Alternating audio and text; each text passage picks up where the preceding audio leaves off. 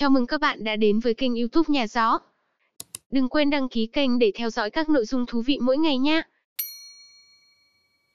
Bà xã, bụng của em mềm mại như vậy, không phải là chuẩn bị sinh mèo con cho anh đó chứ? Đại lão xoa bụng của thiếu niên. Đến khi hai tai của cậu dựng cả lên, kêu meo meo kháng nghị mới chịu dừng lại. Ý cười trên gương mặt đại lão càng sâu hơn trêu chọc. Em nói gì vậy bà xã, anh nghe không hiểu. Chỉ mới vài tháng trước, đại lão vẫn là một phần tử trong hội anti mèo. Anh từng thề rằng cả đời này sẽ không bao giờ nuôi mèo. Nhưng mới lập lời thề chưa được mấy ngày, đại lão đã tự vào mặt phát thông báo treo thưởng 1 triệu đô la Mỹ, cho ai giúp anh tìm được một chú mèo cam. Còn nói chú mèo cam kia là bà xã mà anh chưa từng gặp mặt. Mọi người đều cảm thấy, đại lão bị ngã đập đầu khiến đầu óc có vấn đề rồi. Nhưng không ai biết, trong lúc đại lão hôn mê, linh hồn thoát khỏi cơ thể. Trùng hợp xuyên vào cơ thể của mèo cam. Khi ấy, đại lão liền cảm nhận được, trong cơ thể mèo cam còn có một linh hồn khác. Linh hồn đó mềm mại hướng về phía anh cầu cứu. Tôi là chú mèo yếu nhất ở trong ổ, nhưng chú mèo lang thang khác đều bắt nạt tôi, anh có thể giúp đỡ tôi được không? Đại lão là người rất thích một màn anh hùng cứu mỹ nhân. Anh lập tức dùng thân thể mèo cam, dạy dỗ toàn bộ mèo lang thang quanh đó một trận, biến mèo cam trở thành lão đại ở đây. Mèo cam vui vô cùng, liên tục gọi anh là ân nhân. Đại lão mừng thầm trong lòng, muốn thuận nước đẩy thuyền, để mèo cam lấy thân báo đáp. Nhưng anh còn chưa kịp nói ra suy nghĩ trong lòng, thì linh hồn đã trở về thân thể vốn có rồi tỉnh lại.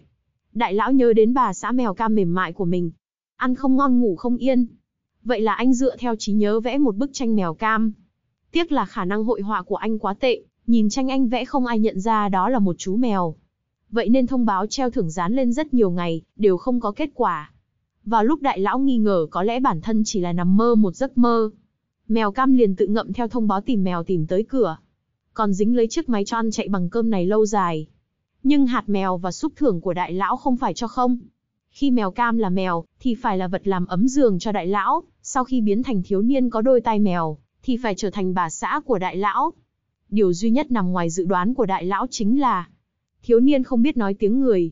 Trong những lúc sốt ruột cũng chỉ biết kêu meo meo meo. Ban đầu đại lão còn cảm thấy tiếc nuối. Nhưng sau khi tìm kiếm được thú vui trong chuyện này, anh liền chủ động dạy thiếu niên cách kêu của mèo. Ngoan, em mà không kêu meo meo thì hôm nay chúng ta sẽ làm đến sáng. Vậy là thiếu niên bị bắt nạt hết lần này đến lần khác.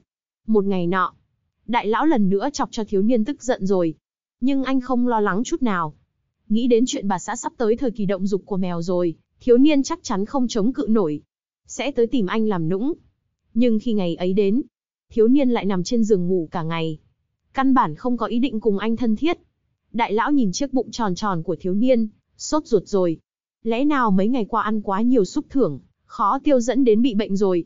Vậy là anh liền mời bác sĩ thú y tới nhà. Thiếu niên bị dọa sợ đến mức nhảy dựng lên. Núp trong góc tường.